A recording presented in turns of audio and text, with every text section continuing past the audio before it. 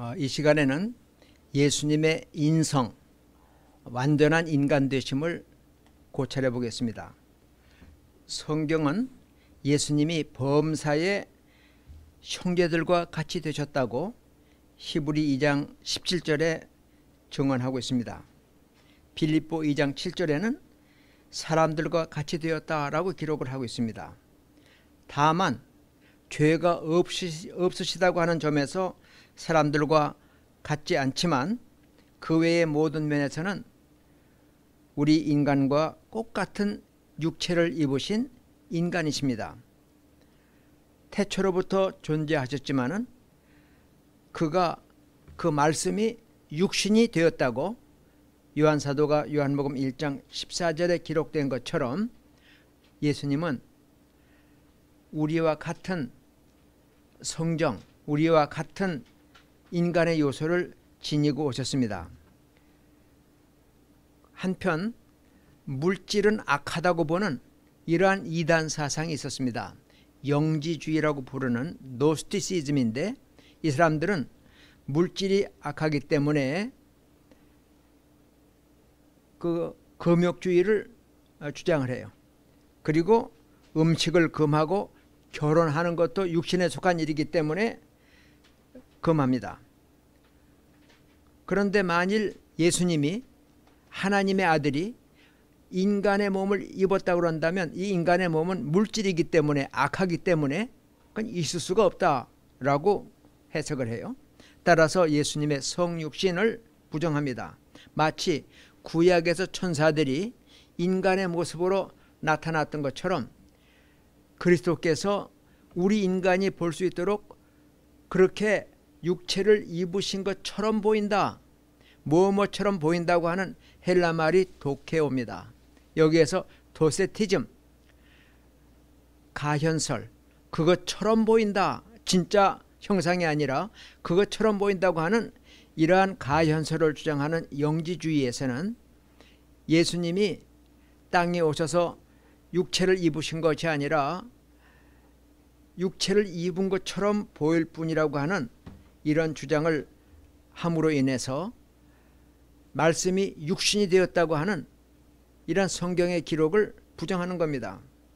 그래서 사도 요한은 요한 2서 1장 7절에서 예수 그리스도께서 육체로 임하심을 부인하는 자가 미혹하는 자요 적그리스도라고 공격하고 있습니다. 예수님께서 육체로 오신 것을 시인하는 자마다 하나님께 속한 영이라고 요한 1서 4장 2절에서 강조하여 말하고 있습니다. 사도 요한이 머물던 그 당시에 이 영지주의가 예수님의 육체적인 죽음, 육체적인 부활, 아니 육체를 입고 땅에 오신 것 자체도 부정하기 때문에 예수님이 육체를 입으신 것을 부정하는 사람들 그들은 미혹하는 자여 적그리스도다. 그러나 예수님이 육체를 입으신 것을 시인하는 그 영마다 하나님께 속한 영이라고 얘기를 하고 있습니다. 또한 예수님은 영혼을 가지고 계십니다. 인간의 3요소가 육체와 영혼인데 영혼은 다시 둘로 나누면 하나님과 교제하는 영, 죄가 머무는 영, 그리고 혼 또는 마음이 있습니다. 예수님은 이 영혼을 가지고 나신 분이기 때문에 이 땅에 오셔서 혼을 영혼을 가지고 계실 뿐만 아니라 세상을 이제 떠나실 때 십자가 위에서 하나님 앞에 그렇게 기도합니다. 하나님 손에 내 영혼을 부탁하나이다. 주님께서는 우리와 똑같은 영혼을 가지고 태어나셨지만은 다른 점은 창세기 5장 3절에 보면 타락한 아담이 자기 형상 곧 자기 모양대로 아들을 낳아 이제 이름을 붙였다고 기록을 하고 있습니다. 원래 사람은 하나님의 형상으로 지음을 받았지만은 마귀의 꾀임에 빠져 범죄함으로 하나님의 형상을 잃고 사람의 형상을 따라 아들 낳아 셋이라 불렀다 그러는데 아담은 물론 그의 후손들도 이러한 죄로 오염이 되어 있습니다. 그러나 예수님은 부모를 통해서 태어난 게 아니라 성령의 잉태케 하심을 통하여 동정녀 깨끗한 처녀 마리아에게서 몸만 빌려 오셨기 때문에 예수님은 죄 없으신 하나님이 준비하신 거룩한 제물이 되셨던 겁니다. 그래서 세례 요한은 유대광야에 오신 예수님을 소개하며 세상 죄를 지고 가는 나와 여러분 온 세상의 죄를 대신 지시고 속죄의 죽음을 죽으러 이제 십자가의 길을 가시는 하나님의 어린 양 우리가 준비한 게 아니라 원래 레위기서에 보면 죄를 범한 자가 죄가 기억나거든 재물을 가져와 재물 위에 안수하고 잡으라.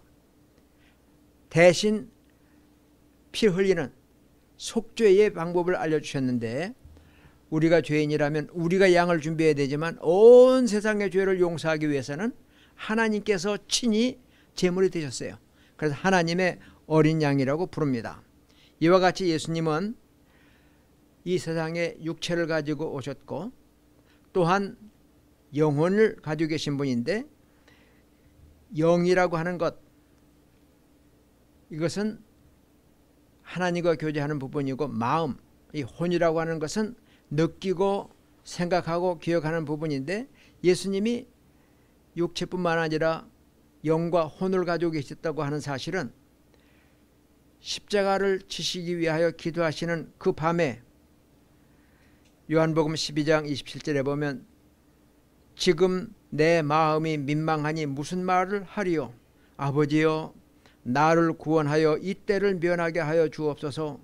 그러나 내가 이를 위하여 왔나이다 민망하다고 하는 말은 마음이 굉장히 괴롭고 번민스럽다고 하는 얘기예요 또 마지막 밤 졸며 자는 제자들을 향해서 마태복음 26장 38절에 내 마음이 심히 고민하여 죽게 되었다고 자기의 심정을 제자들에게 털어놓으시던 예수님의 모습을 발견하게 됩니다.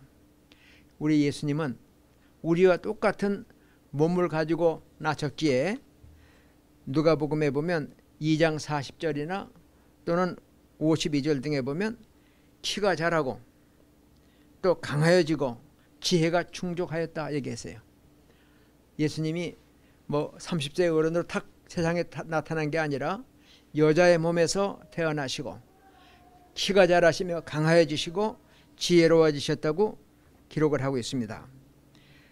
이와 같이 예수님은 우리와 똑같은 몸을 입고 이 땅에 오셔서 우리가 당하는 시험도 똑같이 겪으셨습니다. 시장하실 때에 마귀로부터 돌이 떡으로 변하게 하여 먹으라고 하는 이러한 시험도 받으시고 또 많은 사람들에게서 이러저러한 유혹도 받으시지만 위협도 받으시지만 우리 예수님께서는 그러한 모든 위협이나 또는 욕이나 또는 마귀의 시험까지도 다 말씀으로 승리하시고 기도로 극복하셨습니다.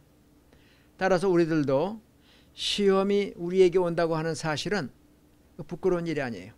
예수님도 시험을 받으셨기 때문에 시험을 받는 일은 내 눈에 죄를 지을 그런 가능성이 있는 것들이 보이고 내 귀에 그런 말이 들리고 내 몸에 그러한 그 욕심이 생긴다 할지라도 그때 그때마다 주님처럼 하나님을 바라다 보면서 하나님 내가 이때를 위하여 왔나이다.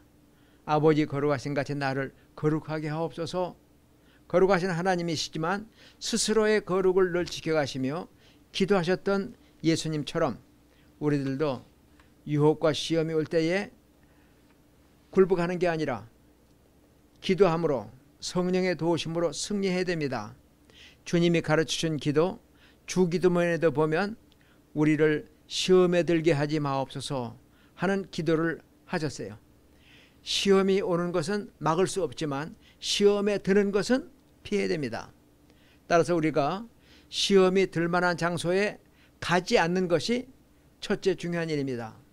그곳에 가면 죄를 질 수 있다 하는 그러한 그 위험이 있는 곳에 일부러 들어가는 것은 오히려 하나님을 시험하는 것이라고 볼수 있어요. 예를 들어서 뜨거운 불에 손을 넣으면서 하나님 이 손이 뜨겁지 않게 하옵소서 하는 것은 하나님을 시험하는 거예요. 우리가 불 가운데 들어가면 상할 수 있는데 죄악의 자리에 들어가면서 나로 하여금 죄를 짓지 않게 하옵소서 하는 것은 하나님을 시험하게 되는 잘못일 수 있습니다. 그러므로 우리들은 악인의 꾀를 쫓지 말고 죄인의 길에 서지 말고 오만한 자리에 자리에 앉지 아니하는 복 있는 사람들이 되어야 됩니다. 이 세상에는 어떻게 하든지 택한 자라도 삼키려고 우는 사자처럼 마귀가 두루 다니며 삼킬 자를 찾는 때입니다.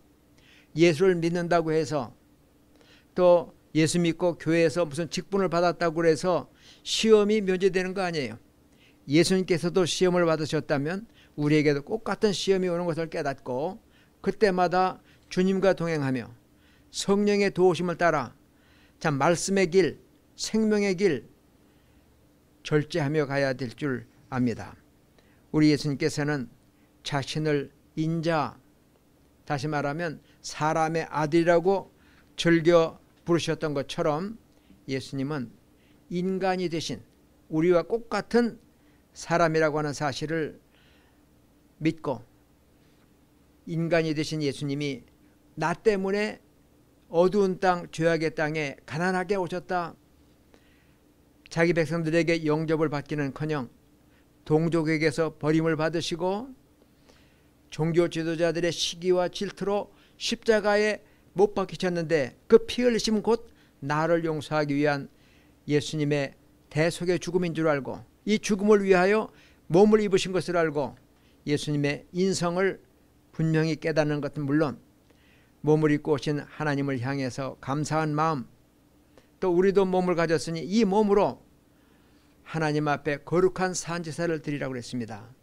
우리가 살아 움직이는 동안 어느 곳에 가든지 어둠을 비추는 빛으로 또는 세상의 소금으로 역할을 잘 감당해야 되겠고 또한 그리스도의 향기를 나타내는 무사람이 보고 읽는 그리스도의 편지가 되어야 할 것이 그리스도의 피 흘림을 통하여 구원받은 신자들의 사명이며 의무라고 생각을 합니다. 구원받으신 여러분의 참 놀라운 신분을 감사하면서 하나님 앞에 여러분의 몸으로 너희들은 값으로 사신 바 되었으니 너희 몸은 너희 것이 아니라 그랬어요. 예수님이 우리를 위하여 몸을 주셨던 것처럼 우리도 우리 몸을 하나님께 드리는 거룩한 산 제물들이 되시기를 축원합니다. 감사합니다.